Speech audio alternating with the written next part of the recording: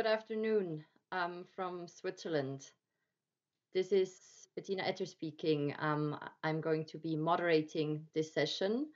Um, I'm Senior Migration, Global Migration Governance Manager um, for um, the Swiss Agency for Development and Cooperation of the Foreign Ministry of Switzerland. I hope you can all hear and see me well as I'm joining you virtually um, this this afternoon. Um, good morning or evening, um, wherever you may be around the world. And um, apologies for the late start of this session, which I understand was um, is due to um, technical difficulties in the earlier sessions.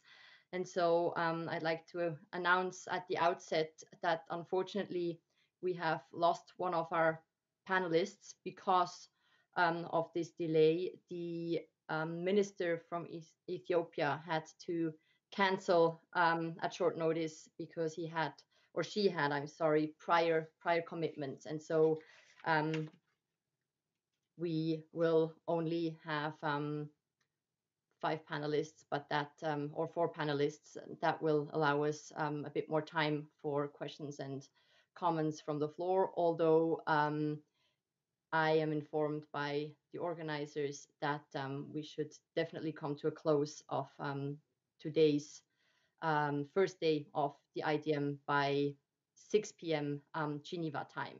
So in two hours time from now. So let me start with a few introductory remarks and then we'll go right into the panel discussion. Excellencies, distinguished delegates, ladies and gentlemen, it's a pleasure to welcome you to this session on enhancing migrants' agency and contribution to the achievement of the Sustainable Development Goals.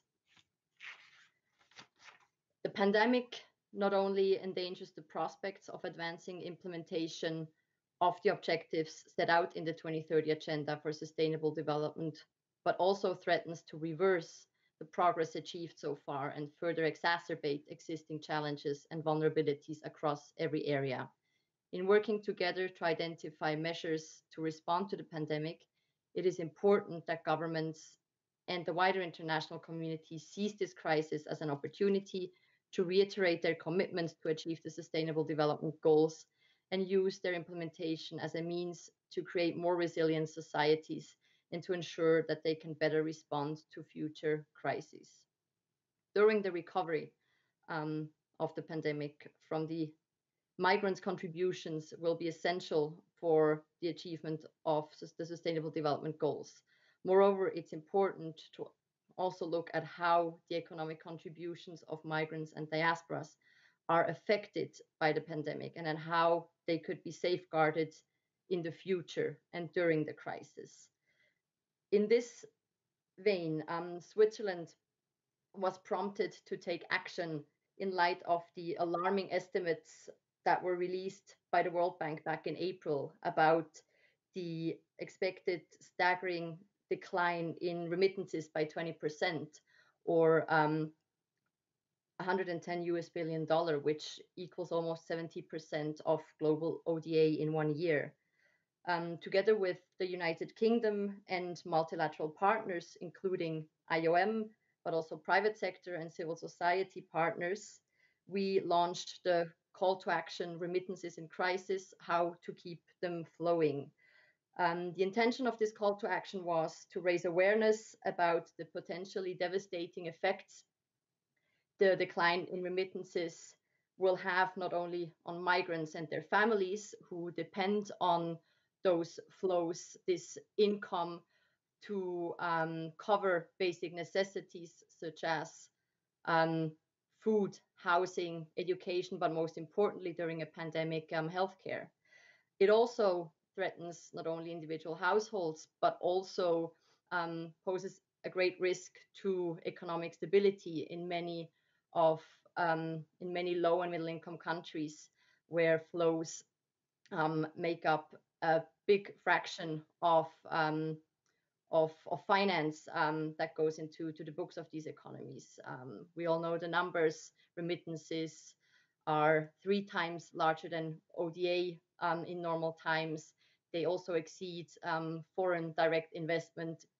And so this is a significant significant contribution to um, to economies. And so um, a decline in remittances is potentially threatening to um, the progress of, of the SDGs um, and threatens people to, to fall back or even deeper into poverty.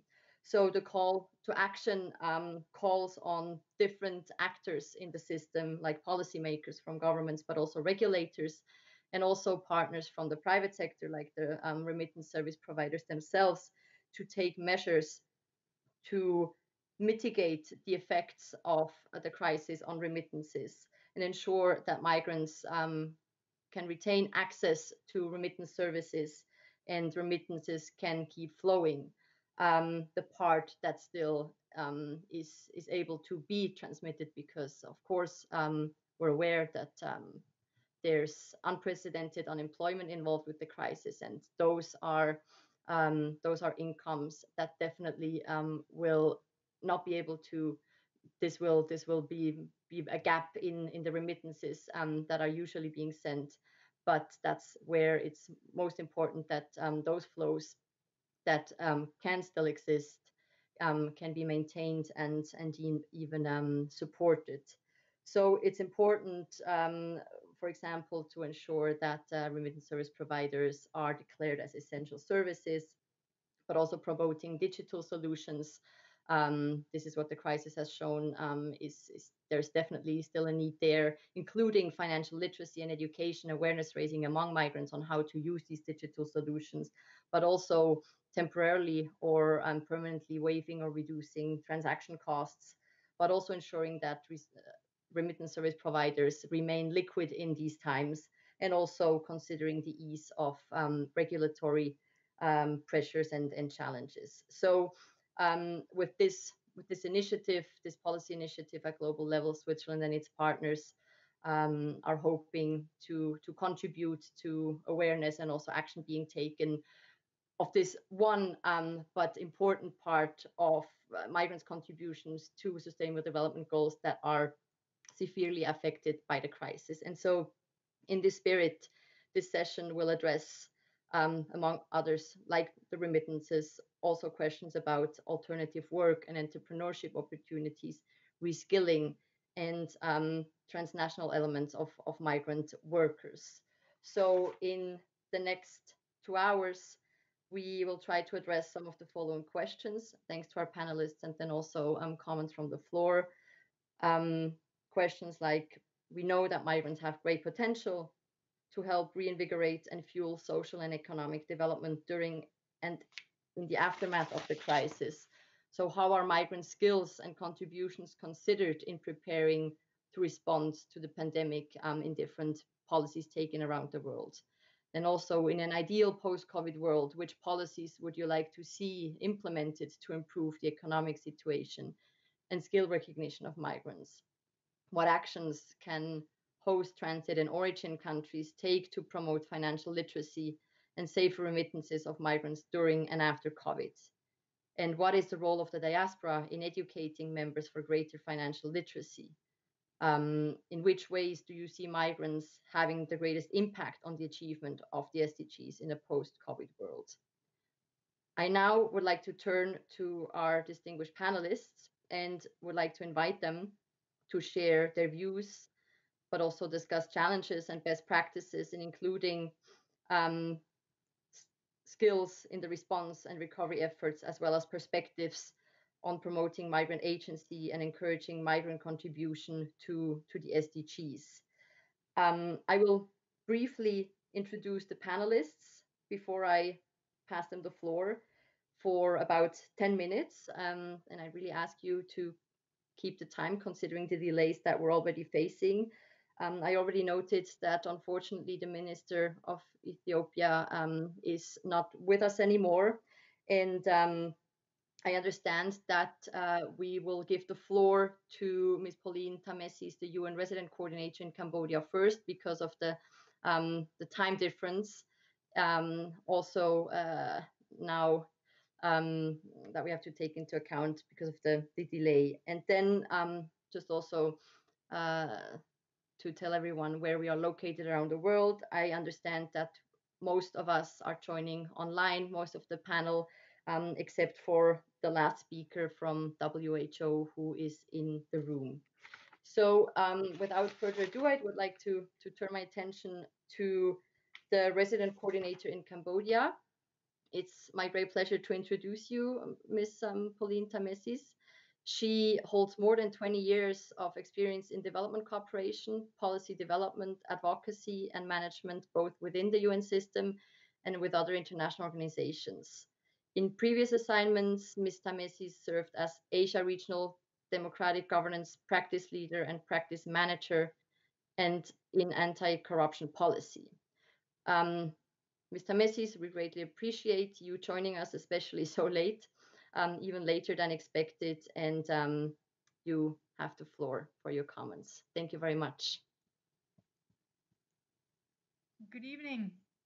Thank you for the opportunity to be part of the International Dialogue on Migration, uh, coming to you from the UN in Cambodia. As we all know, the COVID 19 pandemic has fundamentally changed the world as we know it. And in no other time in our generation's history have we all equally experienced the impact of restrictions on human mobility as uh, uh, sorry, have we all equally experienced the impact of restrictions on human mobility in subsuming individual freedoms for the sake of public good? And no other group has been adversely affected by restrictions on human mobility as the migrant community. It is in this sense that I share three messages on enhancing migrants' agency and contributions to the achievement of SDGs. Message one Cambodia is a young and highly mobile population. Migration is an important economic lifeline and a factor driving social mobility for families. The productive capacity and remittances they generate need to be nurtured and protected in an enabling environment that allows them to meet their basic needs, create savings, assets, and opportunities for their families, communities, and sending and host countries. Um, 60% of Cambodians are under the age of 35 and they are highly mobile in search for economic opportunities. And they want to be part of the prosperity resulting from two decades of 7% GDP growth in Cambodia.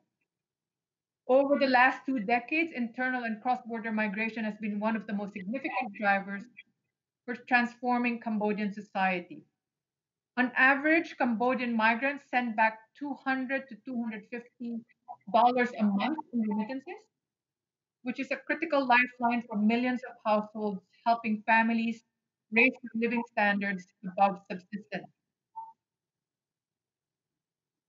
From a macroeconomic perspective, remittances is a major source of foreign exchange in Cambodia. Total remittances have grown from 444 million in 2010 to 1.6 billion in 2019. These numbers alone already point to significant contributions that migrants make to the economy. And migrant workers' remittances can spur economic development in poor migrant sending communities. However, a lot depends on the migrant workers' access to money transfer channels that are affordable and safe. It also depends on recipients' households' capacities and opportunities to use the money for productive investment. And more importantly, remittances need to be channeled to a supportive macroeconomic and business environment with good governance systems in place conducive to optimizing this fund for productive investments. So some of the key actions, improve financial inclusion and literacy, some of those that you've already highlighted, bringing the unbanked into the formal banking system, reforming legal and regulatory frameworks to increase transparency and competition in the remittance market, and deploying digital technologies for more effective and, and faster payment systems. Message two, public perception, being recognized and having a voice matters. When migrants are valued as a part of the economy and society with their rights recognized and upheld, it's the first step to giving them agency. When mobility is part of the fabric of an interconnected world, we create an enabling environment for migrants to be counted as contributors. How do we make this happen? One, facilitate their ability to access opportunities in a safe, orderly, and regular manner. And two, ensure that they have legal, health, and social protection required to lead secure, productive, and fulfilling lives. On the first point, uh, one way to ensure safe, orderly, regular migration is through bilateral agreements. The MOU between Cambodia and Thailand, for example, aims to formalize the status of Cambodian migrant workers in Thailand. The involvement of private recruitment agencies and employers in this agreement is crucial and contributes to reducing irregular migration as well as strengthening social protection of migrant workers. Another way is through international cooperation via the Global Compact, which enables governments to promote safe, orderly, and regular migration through effective practices in national migration governance. It also enhances international migration policy by ag- addressing some of the gaps in the way states cooperate with one another. And the second point, the pandemic has shown us that the best way to prevent people from sliding back into poverty is through access to health and social protection services. The UN's efforts in Cambodia support the government to ensure that migrants abroad are formalized so that they can obtain benefits from formal labor markets and social protection systems in the destination countries. We continue working with the Cambodian government to increase protection of migrants for the whole cycle of migration. For example, in reducing payments of migration services, complex procedures, and red tape. We also mainstream migration within certain policy areas to support recognition of their social and economic contribution and bring migration into the national and structural development plans, as well as help set up more integrated social protection mechanisms. Message three even without the pandemic crisis, migrants remain one of the most vulnerable groups and at high risk of being left behind. If we don't target their uh, needs, tailored measures are required to create economic opportunities for migrants as part of building back better from the, the pandemic. One example Thailand hosts approximately 1.2 million Cambodian migrant workers, the largest among the top three destination countries for Cambodia. When Thailand began to close the borders in March, more than 115,000 Cambodian migrant workers returned home.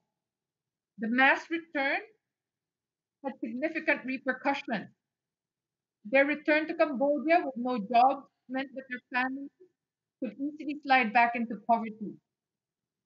Without support for alternate sources of income or livelihoods, returning migrants are unable to reintegrate into their communities and forced to remigrate, increasing risk in illegal recruitment, human trafficking, and COVID transmission.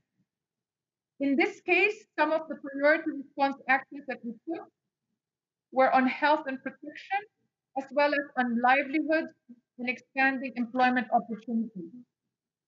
At the policy level, we ensured that migrants are considered in the policy response and social economic recovery strategy to the pandemic. And at the programmatic level, we ensure that the poor migrant returnees are included in the IDPoor system. This is the cash transfer mechanism to obtain emergency assistance. Other efforts included reskilling and upskilling, improving their access to employment services, and supporting micro and small medium-sized enterprises, as well as expanding support services. To conclude, may I emphasize that these priority and practical actions are necessary to enhance migrant agency and the SDG achievement. So first, ramp up efforts to formalize migrant workers in destination countries. Second, include migration in the government socio-economic recovery plan. Third, social protection, provide social protection to the returning migrants and livelihood support. And fourth, to re-emphasize what you started off with in your opening, Madam Moderator, support IOM's global call to action on remittances in crisis, how to keep them flowing. With these measures, we can take the necessary steps to turn this crisis into an opportunity. Thank you.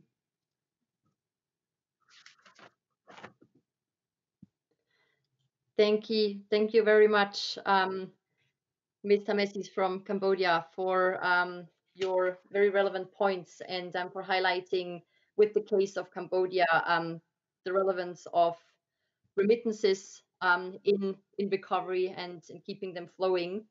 Um, also, the question of public perception and how migrants are being included in in recovery, social protection, health protection as an important point, and um, also addressing vulnerabilities upon return of migrants and creating economic um, opportunities reintegration opportunities and also including them in emergency measures like um, cash transfers.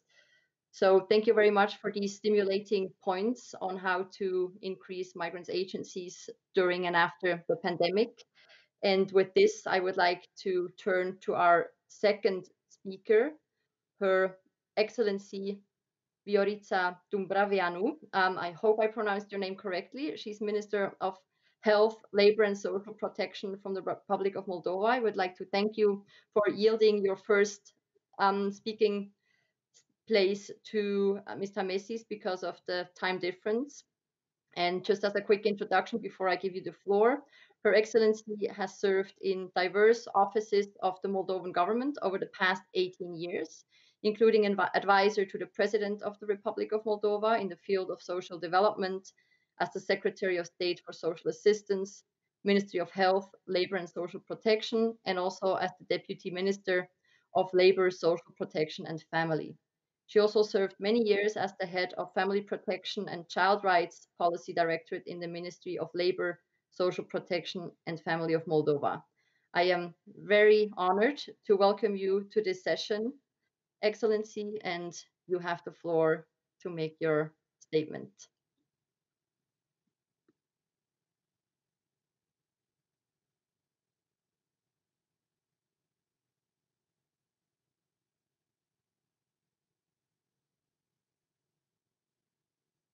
origine alte de destinație, Republica Moldova nu este International migration is a phenomenon that affects the population worldwide and it involves almost all countries throughout the world. Some countries of origin and others are of destination. The Republic of Moldova is not an exception, and as a developing country, we've been affected by the phenomenon of migration. In this context, we welcome the IDM as a very suitable platform for migration policy.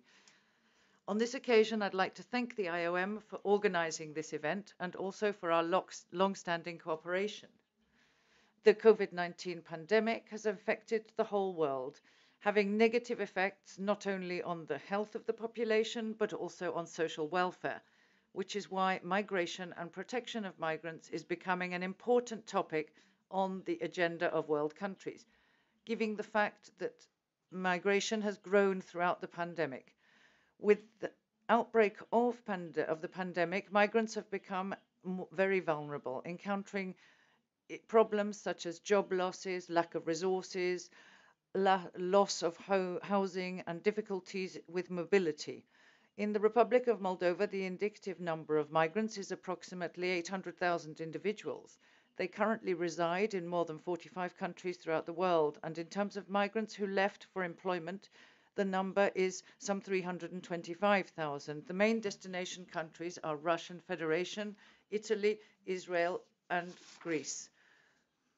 Therefore, based on the existing migration profile, the Republic of Moldova took all necessary measures to, in order to incorporate an integrated approach on labor migration management in line with the objectives in the Agenda 2030 for Sustainable Development Goals. The efforts of the Republic of Moldova are concentrated on supporting migrants in distress and ensuring their protection, undertaking reintegration measures, and harnessing the potential of migrants and diaspora.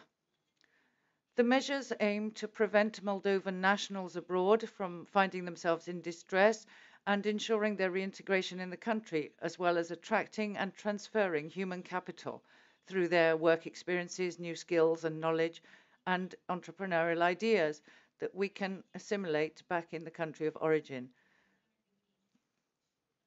In this sense, we involved the diaspora by attracting Moldovans who left for studies to return to the country and contribute to its development.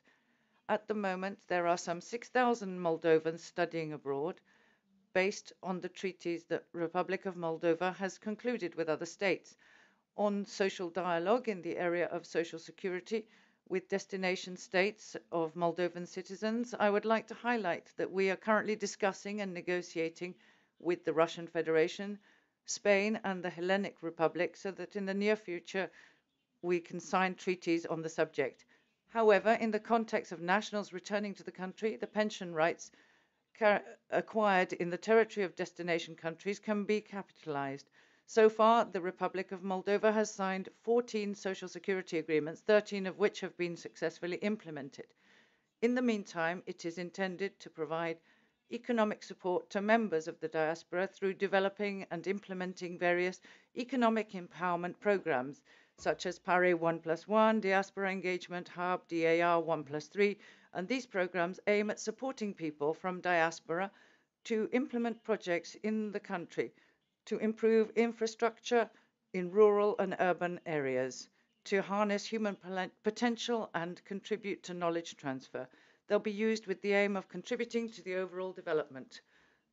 It's important to mention that in the context of the pandemic, when a large part of our fellow citizens returned to the Republic, we adopted additional measures to support them because they didn't work in the country. They were not entitled to unemployment benefits in case of job loss we provided benefits to the amount of 2,775 lei per month to overcome the difficult situation.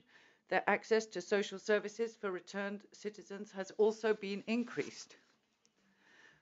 We believe the skills and material resources of Moldovan migrants who are forced to repatriate because of COVID 19 need to be valued as major contributions for the development of the home country through the setting up of appropriate policies, programs, and conditions. This year, we have developed, with the support of IOM, a mechanism for validation and certification of informal skills migrants gained abroad. Diaspora has already mobilized itself in providing COVID 19 response by delivering support for vulnerable groups in Moldova and in, within the diaspora. Their contribution through knowledge and skills transfer, entrepreneurship and innovation, trade and investment will prepare the ground for a swifter socio-economic recovery after the impact of the COVID-19 crisis.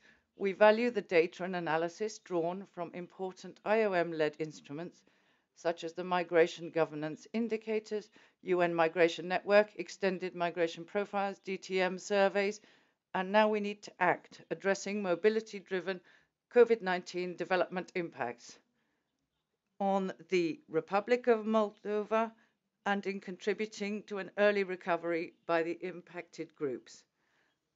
I am convinced that this 20th, 20th edition of the IDM will greatly foster cooperation, partnerships, and networks for future practical and relevant action in these challenging times.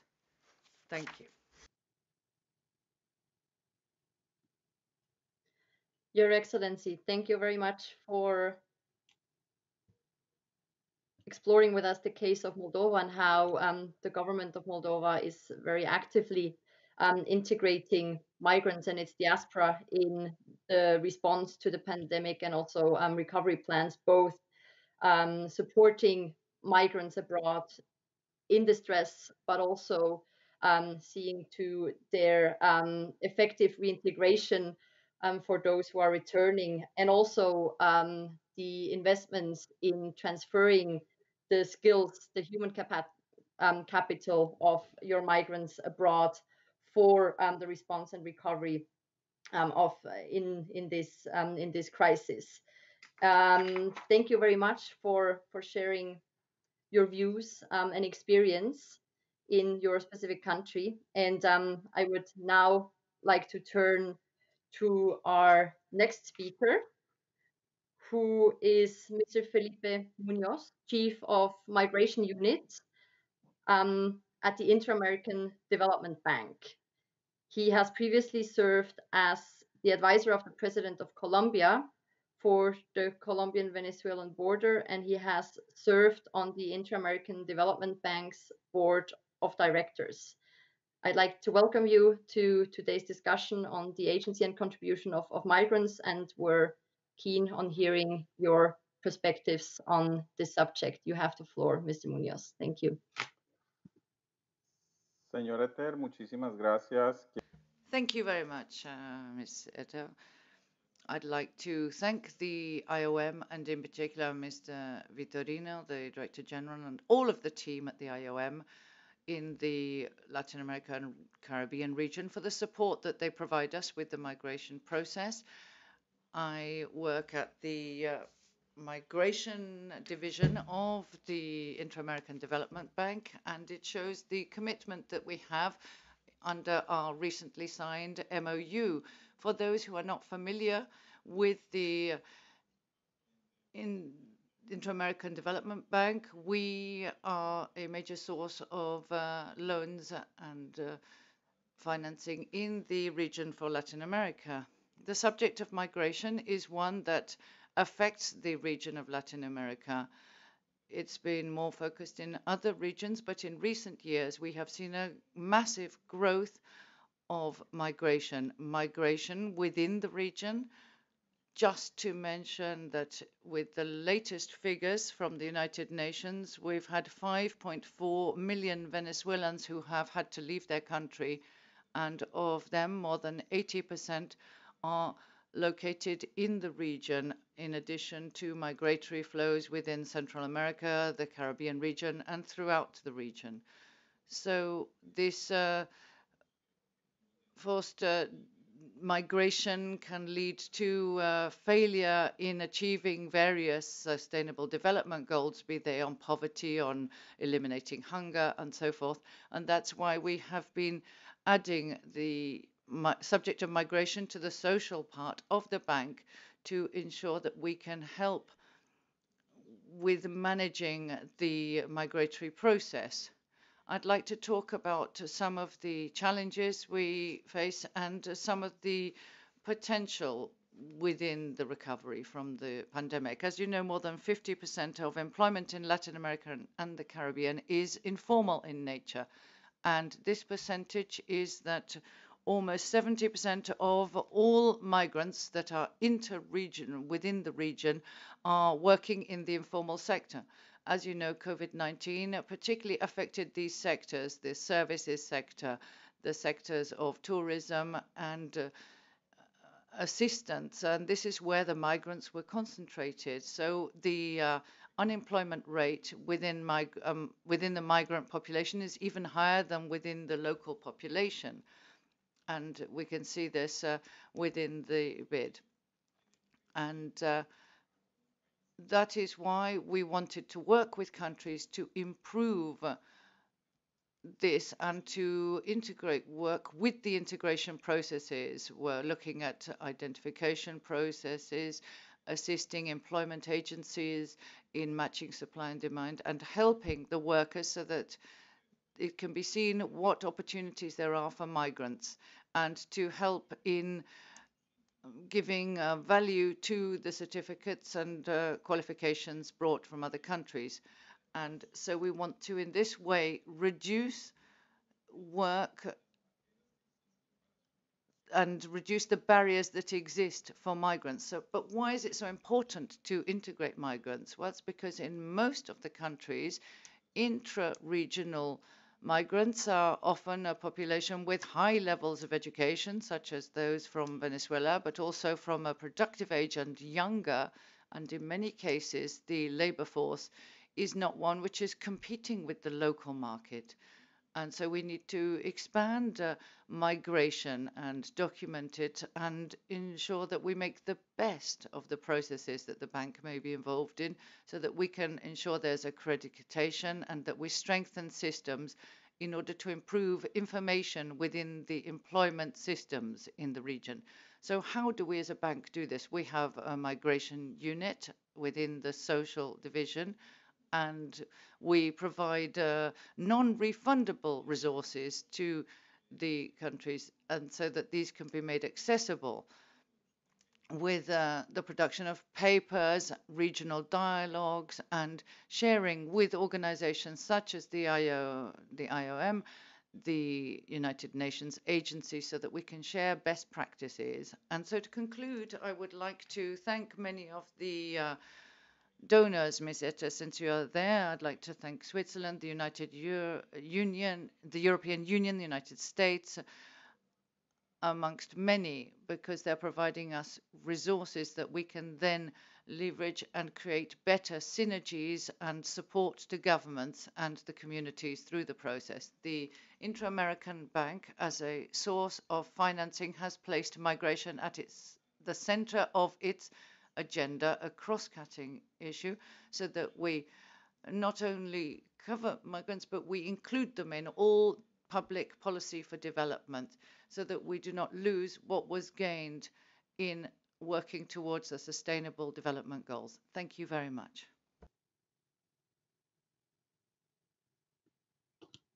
Senor Munoz, muchas gracias. Thank you very much, Mr. Munoz. I'd like to thank you for bringing our attention particularly to the issue of employment and how it's important to make sure that um, the different branches of a of a government um, are talking to each other when it comes to employment.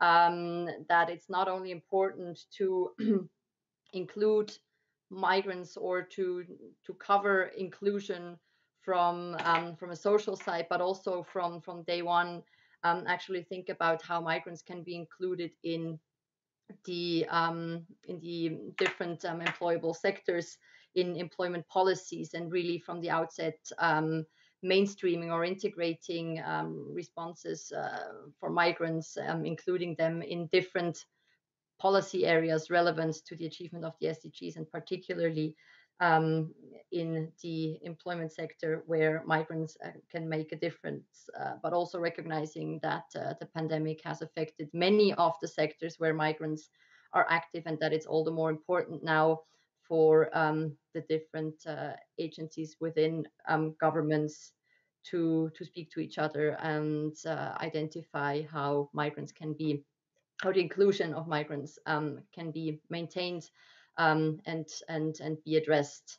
So um, thank you very much. And um, I already have the pleasure to announce the last um, speaker on the panel. And um, then I would turn it back to the um, moderator who's in the room for comments and questions. But now, last but not least, I would like to turn to Mr. Boubou Camara. He is present in Geneva. Um, my understanding is correct. And um, he is COVID 19 support pillar manager for the World Health Organization. Dr. Camara is a specialist on infectious diseases, and he is part of the five Mauritanian diaspora doctors mobilized through IOM and the EU Emergency Trust Fund for Africa to fight COVID 19 in Mauritania. He works in the service of um, the pneumology for the Centre Hospitalité, um, Hospitalier Universitaire de for having to, to switch to, to French now. This um, threw me off a bit. And his research focuses on infectious diseases, respiratory medicine, and pulmonology while working with patients with cystic fibrosis.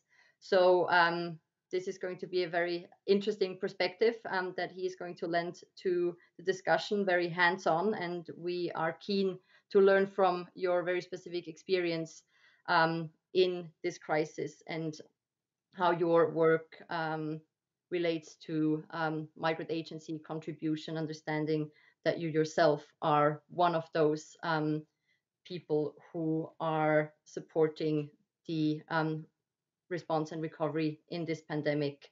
Um, so thank you very much for being with us and the floor is all yours. Um, bonjour. Good afternoon. So I'm going to speak French it's much easier for me. First of all, I'd like to thank the IOM and all the organizers who have ensured that I can participate today to speak about my experience as a member of a diaspora and to help and by help in the fight against uh, COVID-19, uh, which has affected the whole world and countries such as mine. What I'm going to say is maybe a little different to the previous speakers because I'm a clinician in the field and I've been working in France for 20 years. Up until June, I was based in Grenoble, where I was responsible for the Center for Infectious Diseases. I decided in June to return to Mauritania. I was accompanied by five other members of the diaspora, and they are still back there. And we were in, encouraged to do so through a program between the EU and the IOM. So, to come back to the subject of the diaspora, what we need to remember is that there's always a continuous flow between members of the diaspora and their countries of origin, and these flows can be uh, more or less urgent. And for us, in our specific situation, we uh, lived through the first crisis of the pandemic in France, and in particular in Grenoble, where I was. And given the uh, depth of the comorbidities and the pandemic, it was really unprecedented in terms of coronaviruses. And we really wondered what would happen at home where the health resources are not uh, always there and uh, countries which are not really uh, structured in terms of their health systems. So the first idea was to uh, set up a contact with our countries of origin, and we did this through WhatsApp groups or we had various meetings in our case with the Minister for Health, uh, Zoom meetings where we started anticipating what equipment and resources would be needed. And so we shared the protocols for care, which were already available in the countries where we were living, our adoptive countries, uh, France in my case. So these concerns, which was always there, made us come to these country to the countries through this program in order to be able to share the experience that we had been through so that we could move ahead to the next steps and avoid mistakes that had been made and to be able to share with our countries. So this commitment from the diaspora was uh, spontaneous and it was really facilitated by the IOM. And I think it ensured that we could have even more fruitful outcomes because of the uh, human resources, but also the technical uh, contributions we could make to our countries of origin. In terms of the COVID response in Mauritania, it was managed by the Ministry of Health, but with a great deal of support from various partners, in particular the United Nations system, which organized itself under the aegis of the World Health Organization, who employ us.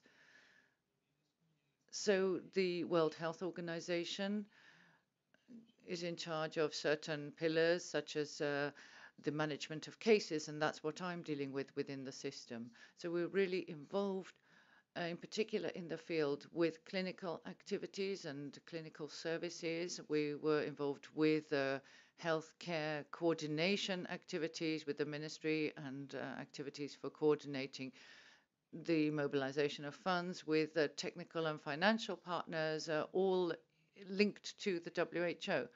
So we, first of all, looked at setting up a database because we had to prove what seemed obvious through figures so that we could convince uh, those who needed to to change their opinion and to look at this drama of the pandemic to working towards improving the healthcare system. So I'd like to speak very briefly about this uh, audit of deaths that we had to carry out because the uh, results are stunning. Until the 31st of August 2020, we had exactly 159 deaths. So we were able to look at the number of deaths, and we could see that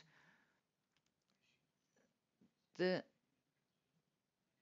the deaths uh, generally followed 24 hours after hospitalization. And we could see that in the field there was a great deal of uh, lack of confidence in the healthcare system or mistrust. And so we were able to see how many people benefited from orotracheal treatment or invasive ventilation. And there we were able to see that only 20% of patients had oro, oral tracheal interventions. Uh, and we could see that uh, we could intubate patients, uh, but in Europe that happens maybe because the equipment's there, but uh, we found that there was a lack of necessary equipment, and that's applied to invasive uh, ventilation also, and it was really only used in about 40% uh, of cases. Now, in terms of the involvement of the diaspora, we carried out a, a stock taking of all the structures that were hosting uh, COVID patients, including in the capital where we had uh, two uh, that could take COVID patients and also in the regions. We were able to look at all the diagnostic uh, algorithms and tools, and we acted as consultants and made sure we were available for the health ministry above all. So overall, what I can really draw from this experience, which was extremely enriching for us, uh, those of us living abroad, uh, thinking we don't do much for our country, well, this was an opportunity to do something and to contribute to our country to dealing with this burden. So it was really an advantage. It was the main uh, benefit for me. Now, this program promoted by the IOM is very important because it above all concentrates on involving the Ministry of Health because in the field uh, we can sometimes be can be considered a little bit like NGOs. Well, it's the WHO, it's uh, the IOM, and so forth. But no, we were Mauritanians, uh, fellow citizens who came and made sure we were available for the WHO. Well, they were there backing us in terms of technical issues and logistics, but we were Mauritanians coming back and fighting the pandemic in our country because that sort of changed the the the the fact that sometimes it was a little bit difficult where people said, well, he works for the WHO or whatever. But I think it's a good idea to encourage this type of uh, project and to carry them out and continue carrying them out in the future. And above all, it's important to involve the Ministry of Health. So I've tried to give you a quick summary because I was told I had between three and seven minutes because otherwise I could talk all, all day about this. But if you have uh, questions on a practical level or you'd like to discuss how you and uh, want to know more, then I'd be more than happy to talk about it. Thank you.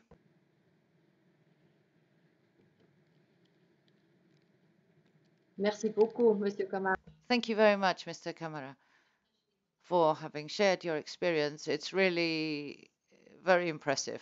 Excellent closing of our um, panelist part of, of um, this, this current section with, um, with an actual experience of a member of diaspora who was um, able through this um, program led by the IOM and supported by the EU to return to the country of origin and support the um, response to COVID. This is very impressive and um, thank you for your service to um, to your country and uh, in this pandemic. People like you are the ones that are truly making a difference um, in this crisis. And um, I think it's very honorable what what you did and what you achieved. And very impressive to to hear from you. Thanks for sharing your story and um, now i would turn back to my sort of co-moderator in in the room in geneva who will um, navigate through questions and comments from the floor if we do have um, questions to some of the panelists maybe um, we can hear a few and then go back to them. Um, otherwise, we'll just hear uh, statements and then um, once we're through the list, we can close this session. But um, Mr. Co-moderator, over to you to um, steer us through the interactive part of the, the session. Thank you. Many thanks, Bettina. I think we are have a very interesting uh, panel free, and so far we have totally of seven uh, people that actually request uh, the floor after the panel free. On my list, I have the first UNMGCY, then Ireland, then ADEPT, then Bangladesh, then Ecuador, Myanmar, Myanmar and Niger. Uh, first, I'd li like to give the floor to UNMGCY. Please, the floor is yours. Do you have it?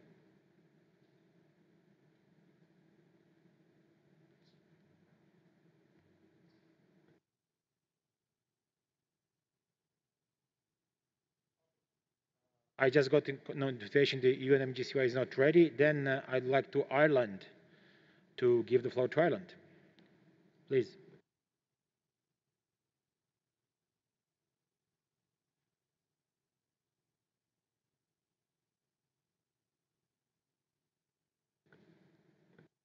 Go ahead, please.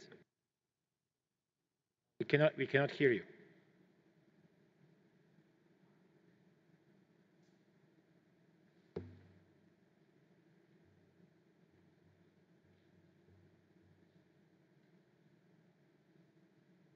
Can you try one more time? If not, then we can go for another.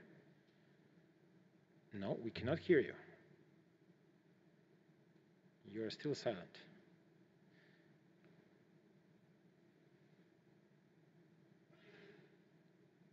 Okay, then let's go in the room. Uh, I would like then to uh, give the floor. Is the adept ready here in the room?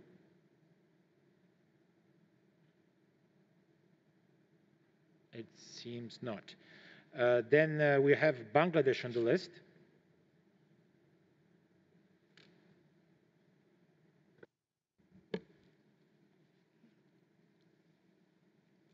Thank you, Mr. Moderator. Let me also thank the distinguished panelists for their very insightful presentations.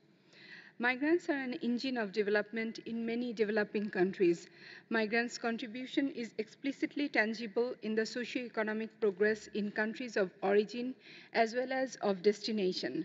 Around 74% of migrants are of working age, despite comprising only about 3.5% of the global population, migrants contribute to about 10% of global GDP. In recent years, remittances to low and middle income countries, except for China, exceeded remittances uh, ex exceeded foreign direct investment flows. Hence, as countries embark on the journey to implement the SDGs, migrants can play a vital role in supporting the countries to reach these goals. Yet, migrants, irrespective of their status, have been among the most vulnerable in the face of COVID-19 pandemic. They have been at health risks while socioeconomic impacts on them also remain acute. With an estimated 20% drop of global remittances alone in 2020, the lifelines of millions of families in developing countries are already at stake. This has the potential to push many of the migrants' families into poverty. Hence, the efforts of the developing countries like Bangladesh to achieve the SDGs have been facing formidable challenges. However, these challenges are not insurmountable. Tackling them to ensure that our efforts to implement the SDGs are not jeopardized would require collective efforts globally. To this end, Bangladesh underscores the following steps. First, a 360 degree approach as stipulated in the Global Compact on Safe, Orderly, and Regular Migration needs to be mainstreamed in all migrants and migration related actions at the national, regional, and the global levels. Second, a holistic and development oriented migration governance, which the GCM had introduced, needs to be reinforced for the full implementation of SDG 10.7. Third, migrants' significant potential needs to be utilized in tackling this global health and economic crisis. Fourth, the COVID-19 may potentially transform the nature of future work. Migrants must not be excluded from the decent and productive jobs in the post-pandemic time. Fifth, countries of origin, in particular the developing countries, must be appropriately supported for sustainable reintegration of the returning migrants in their economy by creating livelihood provisions. I thank you, sir. Uh, thank you, Bangladesh. Now we'll check one more time. Do we have no sound with Ireland, or we still have just a picture but no sound?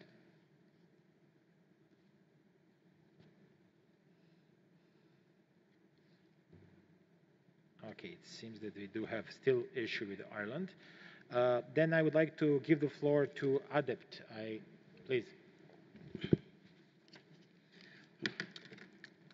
ADEPT thanks the IOM for organizing this great event in these challenging times. And the same time, thanking all the speakers this afternoon and in the morning sessions for all the concrete solutions that were presented, which were needed to protect the migrants and continue to enhance their contributions in the sustainable development goals as provided in the Agenda 2030.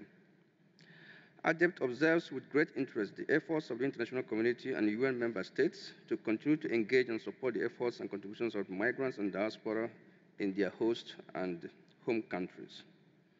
ADEPT has equally taken note from presentations and comments made in the sessions that migrants and diaspora are no longer seen just as cash cows that only remit money for household affairs in countries of origin.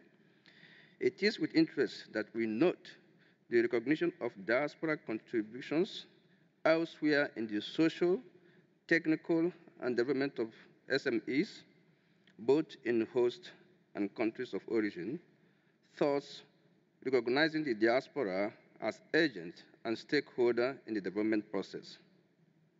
As part of our recommendations, we do hereby first invite the diaspora community to remain steadfast in building the capacity, their capacity and forging a united front to maximize their impact and make their voice heard in the development scene. Secondly, we also call on the countries of origin to continue to develop friendly policies capable to support and guarantee the safety of diaspora investments and entrepreneurship. Thirdly, the host countries are also encouraged to continue to engage stimulate and maximize their support towards the empowerment of migrants and diaspora communities, building their capacity to boost their technical and socio-economic contributions in both host and countries of origin, irrespective of difficulties that might appear in the process.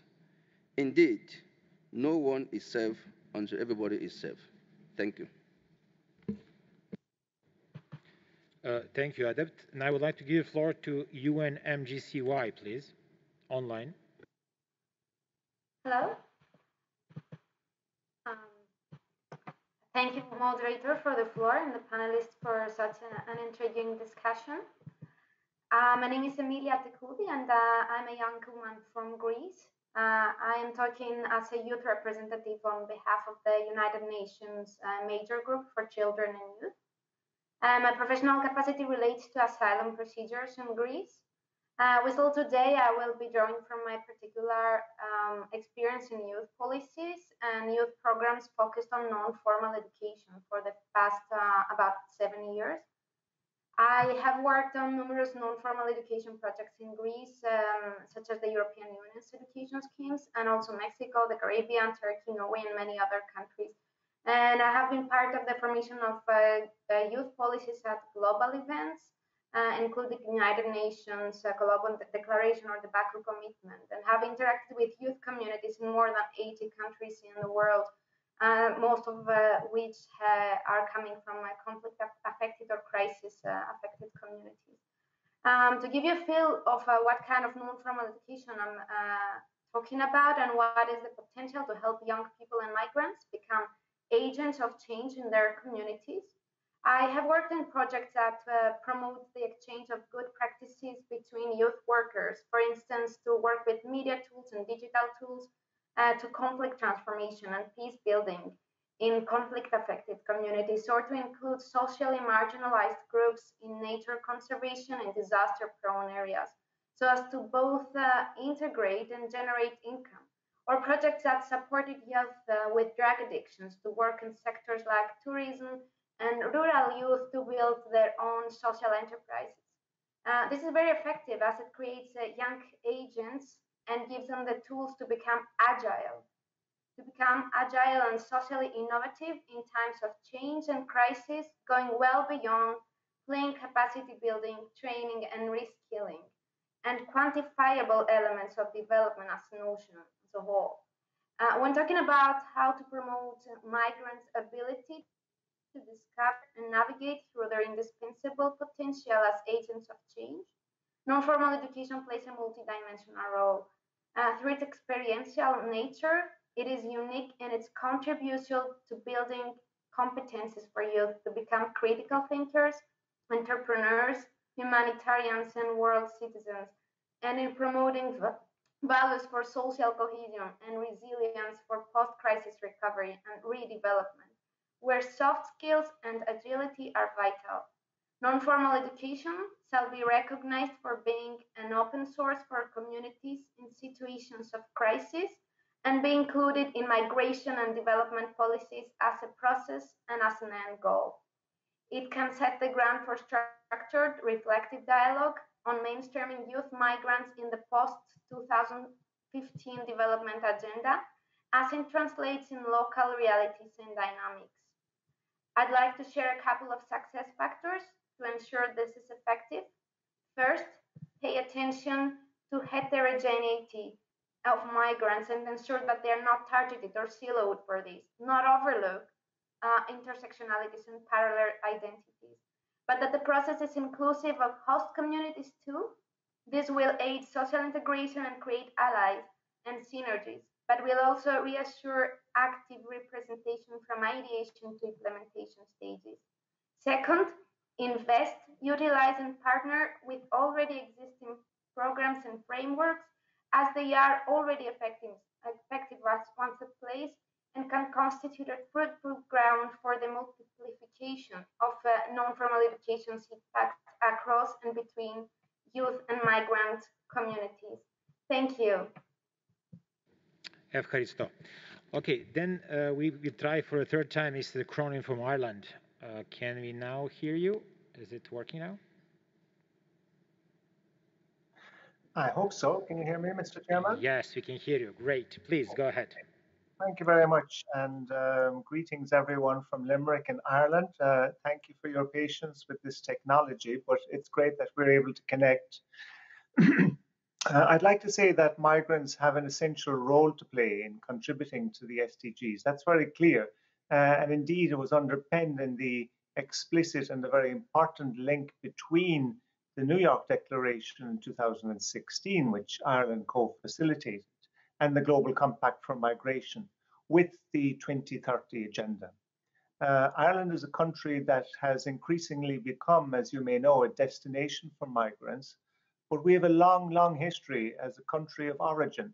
Uh, and because of this, I think Ireland understands the necessity of integration, how this helps countries of origin and destination.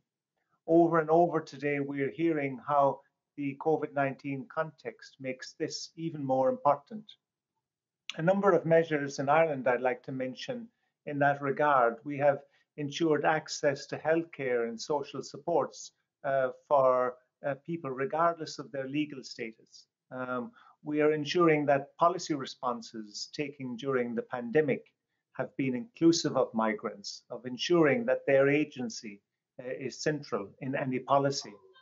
Uh, we are granting automatic renewal of immigration permissions to ensure that people are not falling uh, out of status during this time through no fault of their own. And we're also ensuring equality of access to social welfare payments uh, and other social supports so as to provide income security uh, and not to ask questions which might debar people from benefiting. So by ensuring that the needs of migrants are met, we are not only affirming to them that they are valued members of our society, we're also ensuring that when this crisis is over, and let us remember uh, in the uh, current difficult circumstances that this crisis will pass, um, that migrants will be in the best possible position uh, to take advantage of the opportunities that become available. And by taking advantage of those opportunities, they will be in the best possible position, uh, should be our aim, to contribute to sustainable development in their countries of origin and destination.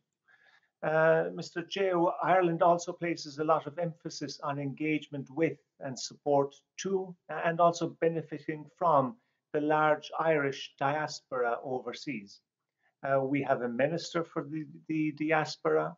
We have a government diaspora policy. And we'll be very happy to share with others the ways and means that we have harnessed the benefits that these strong connections bring to all. To finish, uh, Mr. Chairman, with uh, one um, question, we heard Mr. Camara's earlier intervention, um, and it reminded us of the partnership between Ireland's health sector and the government of Sudan uh, to strengthen the health professional training and development in the context of health worker mobility. This has facilitated effect, the effective involvement of the Sudanese medical diaspora in Ireland uh, to support their own country's health system, including through education and training. And that's even more important now than it ever has been. Uh, I'd just like to point out the WHO Global Code of Practice on the international recruitment of health personnel as an important instrument in this regard. Uh, so thank you, Mr. Camara, for outlining the work you've been doing in Mauritania uh, and the supports that were received from the European Union and the IOM. Uh, perhaps you could uh, tell us a bit more about what supports were there and as part of which scheme did that fantastic initiative take place. Thank you very much. Thank you, Mr. Cronin. Uh, next on my list is Ecuador. Gracias, señor Thank you, Chair. I want to thank the panelists for their valuable contributions. Uh, doubtless, we need to recognize the work of migrants during the pandemic in essential services such as health, education, uh, food, and agriculture, among others. For Ecuador, migration has always been considered as a positive. It contributes to sustainable development through its economic, social, and cultural contributions in uh, countries uh, of arrival as well as country of origin that benefit both from remittances as well as the transfer of knowledge and entrepreneurship. Ecuador has carried out many measures uh, to promote inclusion of migrants. For example, we have uh, released uh, credit lines by banks to uh, facilitate access to financing. We also have an accelerated uh, regularization process so that over 100,000 Venezuelans have been able to use basic services. This has also contributed greatly to their socioeconomic integration. We've also worked uh, to uh, recognize secondary and tertiary degrees as well as their competencies in the, uh on a par with uh, those of other countries. Nevertheless, uh, COVID-19 has had a negative impact and has generated many challenges such as loss of life and this has also uh, affected the implementation of Agenda 2030 and the Sustainable Development Indicators. This pandemic has emphasized that the poor management of migratory flows degrades work conditions, human rights violations, uh, and uh, worsens discrimination. For these reasons, uh, we think that it is absolutely vital to work uh, to create medium and long-term policies that focus not only on short-term emergencies, but also allow to improve governance in a broader way. Similarly, the pandemic also represents an opportunity to move forward consolidating the, sustainable development goals. We should redouble our efforts to um, mitigate COVID's effect on remittances uh, and we need to understand that remittances are an essential financial services and by 2030 we need to reduce to less than 3% the cost of these transactions. Ecuador has carried out uh, activities with chambers of commerce and private banks uh, to uh, make remittance transfers more easy and economical. Last but not least, uh, I want to congratulate the Inter-American Development Bank uh, for the efforts deployed in the context of the current pandemic through their program that's based on capacity building in the context of migration. Ecuador is fully aware that capacity building, at, especially at an institutional level, as well as that of civil servants that deal with migration, as well as those in other entities that provide services to migrants, is absolutely essential to be able to strengthen national responses and have a better management of migratory flows. With all that in mind, I would like to ask what additional tools could be implemented to help states in the inclusion of migrants in their national programs, especially when it comes to socioeconomic recovery? That's the first question. And the second is what initiatives have you foreseen to work closely with national authorities to strengthen the capacities of states when it comes to opening entrepreneur opportunities for migrants and their communities? Thank you very much. Muchas gracias. Uh, the next on my list is uh, Myanmar, it's online. After that, we have Niger. After that, France and Algeria. And that exhausted my list. If someone else would like to take the floor, please notify me. Thank you. Now, I would like to uh, make a link with the Myanmar. Did you have them online? The impact of COVID-19 on the economy and livelihood of migrant workers more prolonged and hard, uh, prolonged and hard hitting than initially expected, as the pandemic is showing no signs. At this time of crisis, migrant workers are facing with more difficulties. Each and every government must ensure to include migrants in their economic recovery plan.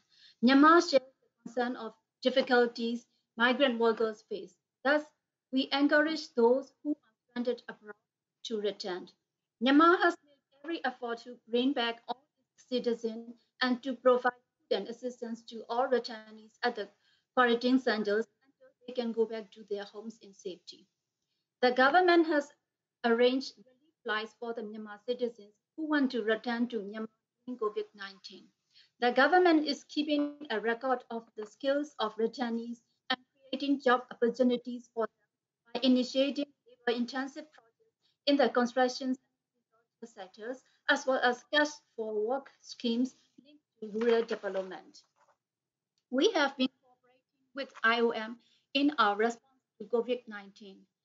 I'd like to take this opportunity to, to thank the IOM for its assistance.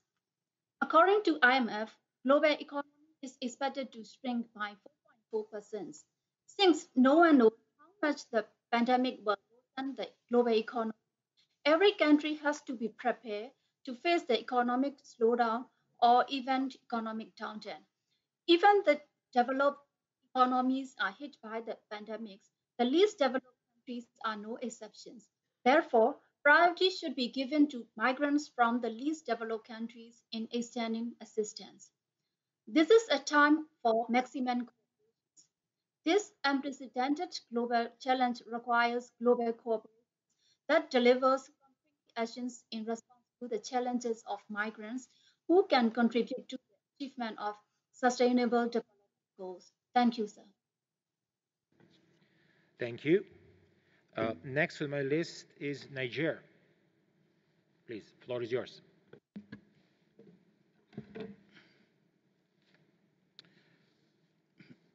Monsieur le modérateur. Thank you. First of all, I want to reiterate uh, my congratulations uh, to the IOM uh, for organizing this important event, which is a great opportunity to reflect and analyze on current migratory issues. I also want to congratulate the panelists for their presentations that have provided us with a wealth of information. Mr. Moderator, as you know full well, the contribution of migrants represents uh, an important uh, source of revenue for many countries, uh, and this allows them uh, to benefit from their diaspora. For countries such as Niger,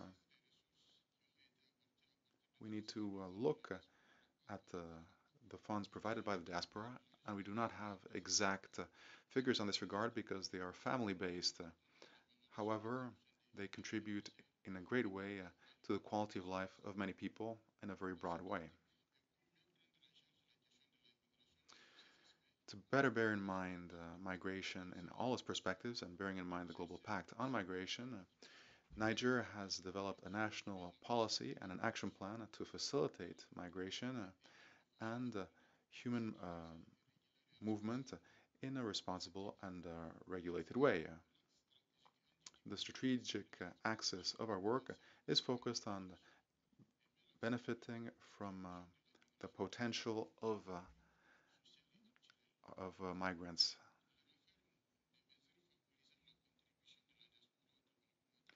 we want uh, measures that can benefit the, the, diaspora as well as uh, Niger itself. Uh, this will uh, this can be done through um, a restructuring of their activity. We will we have created an investment fund for the diaspora.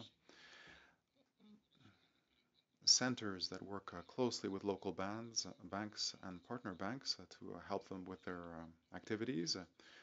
Reviewed our investment le legislation to provide them with ease of access and we also have a service that uh, compiles statistics on the diaspora with the correspondence abroad. Uh, despite all this, uh, Mr. Chairman, uh, and despite all the efforts uh, we've made to really set up sustainable development goals, will be challenged because of the current COVID crisis. Its consequences affect all areas of activity in all states and this worsens the vulnerability of all our populations, which is why my delegation considers that it's absolutely essential to strengthen measures aimed at protecting migrants and to inscribe and include their activities in all development uh, initiatives. Thank you. Merci. And now, next uh, on my, our list is France. Oui, euh, merci. Thank you, Chair. Uh, it was not my intention to take the floor. However, I do want to say that I was very much impressed by uh, this panel and uh, the panelists, and I just wanted to react quickly to what Dr. Camara said, uh, which was truly admirable as he uh, described uh, how he had expressed the work between the Mauritanian, the Mauritanian Minister of Health and WHO and the work of the diaspora. I had a question to ask him I imagine that he's been able to do so, but has he been able to set up ties with a hospital center in Grenoble uh, in, uh, in, in, the context of capacity building? That's my question. Uh,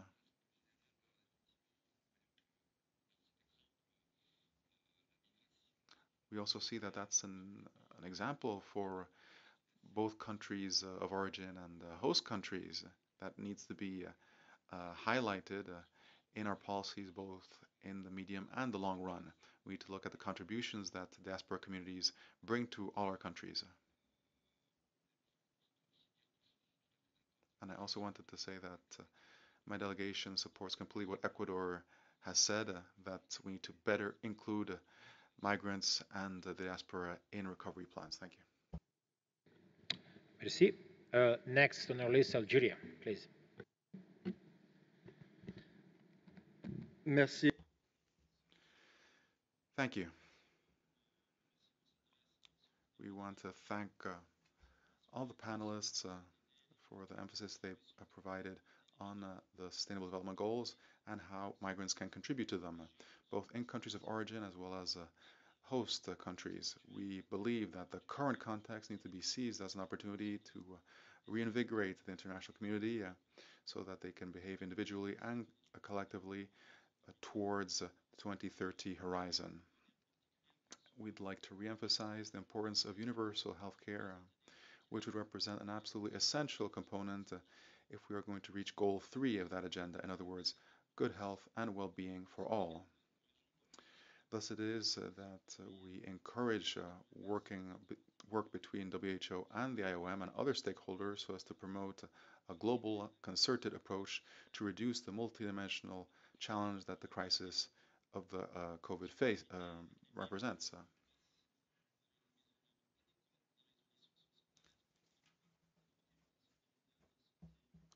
This can only be done with proper implementation of Resolution 73.1, which addresses universal access to all products and health services in a safe and effective way to fight against the COVID-19 pandemic. The scope of this resolution is uh, also valid for the future vaccine against COVID-19, which should also be accessible to all without any discrimination whatsoever. We want to seize this opportunity to encourage donors to redouble their support for IOM with flexible contributions so that uh, the organization can carry out effective measures in that direction. Thank you. Thank you. Now I actually would like to return back uh, the moderation to Bettina, as I actually have several questions for the moderators, for Mr. Munoz, but also for Camara here in the room. Uh, Bettina, please take over the moderation as of now. She's there? Yeah. Thank you very much. Yes, um, I understand that there um, were a few questions, um, especially addressed to Dr. Kamara. Um, maybe we we start with that package of questions and then um, turn to the next. There um, was a question by France just now um, asking about your ties with the hospital in Grenoble during um, your um, your service to to your country in in the COVID-19 crisis and how um, how your experience and um, your um, your relations to the hospital where you were employed in France um, helped you in um, performing um, your your duty in in your home country. And then the other question was about the clarification under which scheme um, exactly supported by IOM and also WHO, if I understood correctly, this um, this program actually um, took place, where you were supported to assist um, your home country. If you could address those questions, um, I would be grateful. Thank you. You have the floor, Mr. Kamara.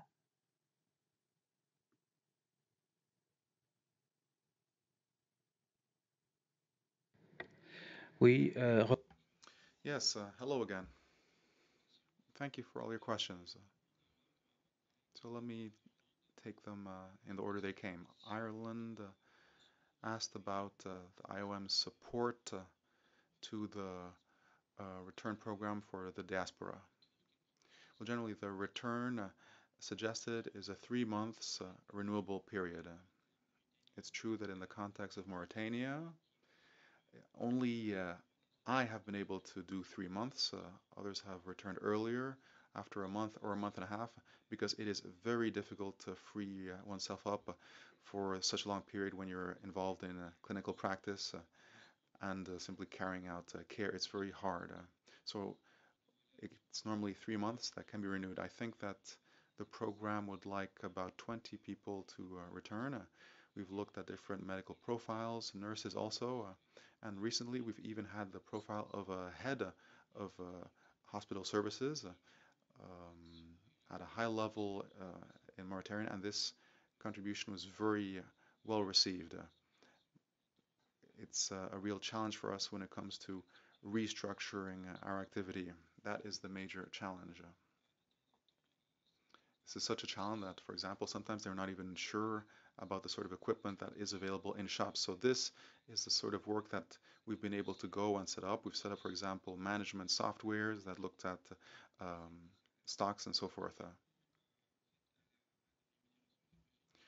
regarding the issue of remuneration, I think that that was uh, the heart of the matter. These are amounts that have nothing to do with the wages that are normally uh, received in Europe. Uh, it was a, um, a, symbolic amount, but an amount which allows us to live in the country of origin, which are countries in the south where the uh, expenses are not the same, uh, and they allow for a reasonable life. So I think the IOM will be able to uh, explain this in greater detail. And I don't think there's anything to hide here, probably. The practitioners all came from Europe, uh, mostly, uh, practically mostly all of them from France. I think that I answered the question. Now regarding uh, the question from France, uh, yes, the, the links between uh, Grenoble and the Ministry of Health, we can imagine. But the Minister of health really tends to focus on uh, emergencies. They don't have any long-term planning really. They have a huge structural problem, which is why I wanted to express that they were very much interested in the arrival of uh, the head of a um, medical service that helped with planning. We haven't been able to liaise properly with ministries, but we've done so with WHO. For example, we had uh, special consultants come in from Spain, eight consultants actually. They're all ER specialists. Uh, but at the end, not all of them could come in because COVID kicked in. and so I often, well, I received a lot of information, but Unfortunately, in Grenoble, also they had closed restaurants and bars, so they couldn't mobilize themselves either. So I really want to thank uh, the IOM for this initiative uh, because I think that if they hadn't given us this little financial push, I wouldn't have been able to come because just like many others, just like many of you, I have family, children that go to school and so forth. I have to cover their expenses and we can't just up and leave and go even if you have the will and the support of your country. Uh, we need that extra assistance. Unfortunately, our country has not been able to participate uh, more heavily. But what I really want to emphasize very much uh, with IOM is that when we have a program such as this, and we need to involve the country, we need country ownership, even if it's uh, uh only with a, a symbolic amount, it's helpful.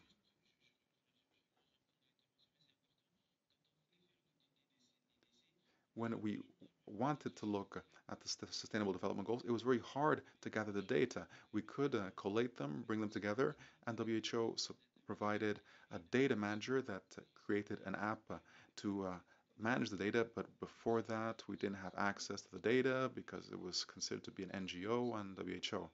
But in the end, we managed to move forward. And whenever I was on vacation in Mauritania and I would talk to colleagues, I would use this opportunity. We recovered data that was ultimately shared and uh, nothing bad happened. Everything went smoothly, but I'm still looking to be able to uh, compile all the data from all hospitalized patients. So we need to make sure that this program is uh, financed by, by the IOM with WHO's logistical support, which hosts us. But host countries also need to take ownership. They need to participate, even if it's only symbolically, so that uh, the bucket not stop with WHO, with the IOM, but also with the country. That is all I had to say. I think I managed to cover all your questions. Thank you very much.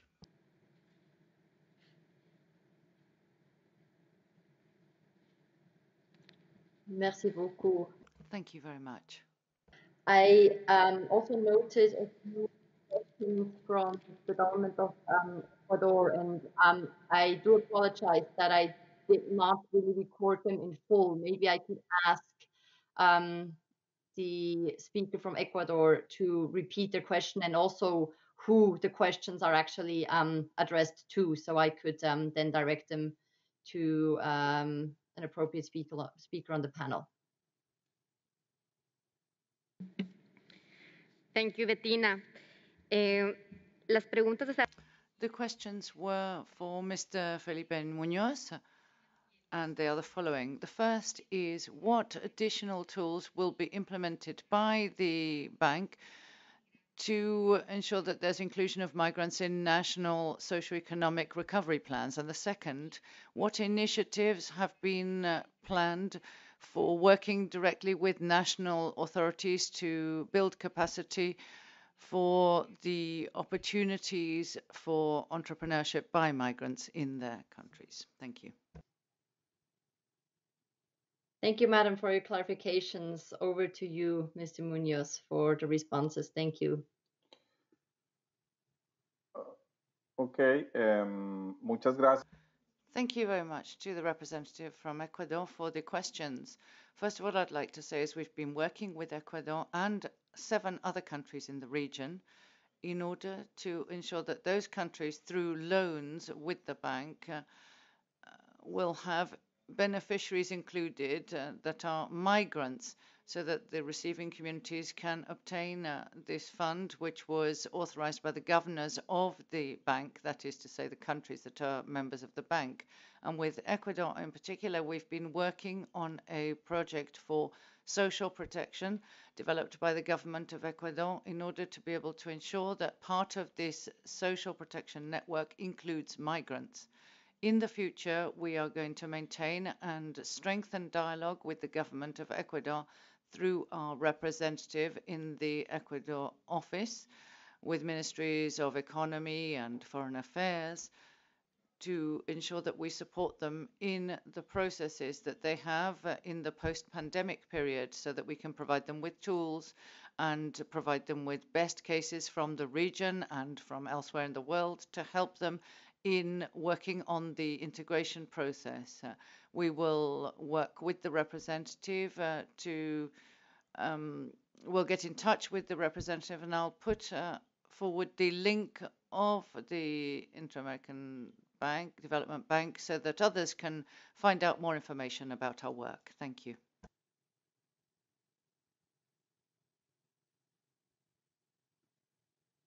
Thank you very much for the responses provided.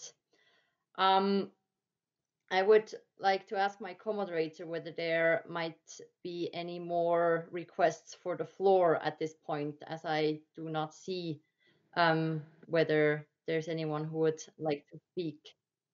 No, the, the list is, is, is exhausted. Then you can just wrap up. Thank you. Great.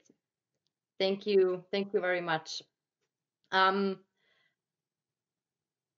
so I'll make a quick, a brief attempt of um, formulating a few takeaways, salient points that I personally um, took from this very interesting um, and enriching session um, that may provide some food for thought for all of us in the international community, um, focusing our engagement on migrants, um, on how we need to um, vamp up, redirect, adapt our responses in order to do justice um, to migrants agency and contribution to sustainable development, um, especially in the context of this crisis and beyond. So um, I gather that from all the the speakers and, and inputs, also statements from the floor, there has been um, a resounding acknowledgement of the wealth and diversity of migrants' contributions to the Sustainable Development Goals. Um, just to name a few examples, the workforce um, provided by many migrants around um, the world, but also remittances. Um, and there, not only the financial contributions migrants make, but also the human capital, the skills that are transferred. And one point in case was the very impressive um, case of Dr. Kamara, um, who supported his, his home country um, in strengthening um, the response to the global pandemic directly in being involved um, in responses at hospital level, but also with the Ministry of Health for um, sustainable improvements um, to, to the health system. But um, we all know um, and recognize that um, the contributions that migrants make around the world on a daily basis, they are heavily affected by the crisis, and there is um, a risk that many of these contributions um, may drain out or may not translate into the effects that um, are direly needed in the situation because there are obstacles and barriers to their their contributions. So um, agency and contributions of migrants to the response of the crisis in um, dealing with the crisis with the various contributions they make it doesn't come for free and not without um, support from different stakeholders in the international community. Um, so to sustain and um, increase the agency of migrants to continue enabling their contributions during and after the crisis to um, the sustainable development goals really requires um, a collective approach by the international community um, basically um, with a two-pronged approach so I gather from many of the inputs that first we need to ensure that migrants around the world need to be um, protected and included in emergency responses. Um, this refers to legal, health, and also social protection in countries of origin, as well as, of course, also in countries of destination. Um, if they stay in their destination countries, if they do return to their home countries, um, those protections need to be in place in the countries of, of origin. And so it's important to include migrants in response plans, also provide livelihood support, especially also um, to workers in the informal sector or irregular migrants, um, enabling everyone the health care and um, livelihood support that they require um, to um, for their daily needs. So this is this is important as a first step. Without um, this basic support and inclusion of migrants among um, all the other um, all the other groups in societies that are affected by by the crisis, basically um, in accordance with the principle of leaving no one behind. Um, this is the first step that needs to to be achieved in order to then um, promote and uh, multiply the the agency and contributions of migrants. And there we've heard um, about different aspects like um, financial inclusion and financial literacy of migrants. So enhancing the development impact of remittances. And while remittances um, are sent on a regular basis, their impact can be supported and increased by different measures. And this crisis has shown how um, how many of the challenges that were there before the crisis have been exacerbated, like access um, due to limited mobility in lockdowns, um, and um, this elevating the importance of digital solutions. And while many of these solutions are there, but the gaps still exist, um, financial literacy is all the more important to make sure that migrants are aware of the different instruments, um, know how to use them, and trust their their effectiveness in um, transferring their their funds to to their loved ones um, at home. So um, increasing financial inclusion and um, coming up with innovative approaches to enhance um, migrants' financial empowerment is, is of importance and an important lessons of, lesson of the crisis where different stakeholders need to come together. Another um, point in case would be um, em employability, um, making sure that um, skills and labor market needs are adequately matched and that um, processes, procedures are in place um, for adequate, fair, and ethical recruitment. And there we've heard about the importance of bilateral um, agreements, and this is also true for, for social protection. And so, um, be it upon return or um, upon potential remigration or for migrants that stay in their countries of destination, um, matching skills and labor market needs is, is of high importance. And linked to that, we've also heard about the importance of skills recognition and not only um, formal credentials, but actually also validating informal skills, um, which can be of essence in um, recovery in countries of origin and destination um, of, of this crisis. So um, my conclusions here are that the challenges um, or also the opportunities of increasing migrants' agency to enable their development contributions and particularly their contributions to achieving various development, sustainable development goals. Um, these challenges and opportunities are not new, but they have been in a way exacerbated by the crisis and the spotlight has been um, put on them and um, enhanced or in a way uh, um, increased the, the relevance of uh, different approaches that have to be taken collectively by the international community in addressing those and um, multiplying the very positive um, effects on sustainable development um, by migrants um, around around the world. So, with this, I would like to thank um, all the panelists for their insightful presentations, um, views shared, and also um, for the enriching interactive discussion afterwards.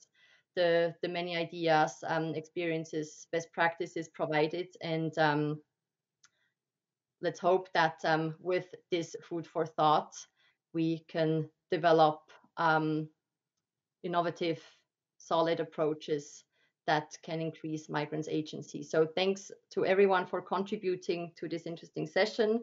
And um, I, um, with this, close not only this session, but I understand also the first day of um, IOM's International Dialogue on Migration um, 2020 with um, an interesting outlook for a second day um, tomorrow. So thank you for staying with us um, beyond the original schedule and um, have a good evening or rest of the day wherever you're located. Thank you very much for your attention. Thank you, Bettina. Thank you all. Uh, we had a three very ritual panels today, and all presentations that or panelist speeches that you heard today will be available, and also the recommendations that we received today, but also what could come up to your mind in the next seven days, you are free to send them and actually to propose what recommendations we should have out of the IDM 2020. Thank you and see you tomorrow at 10 a.m. Thank you.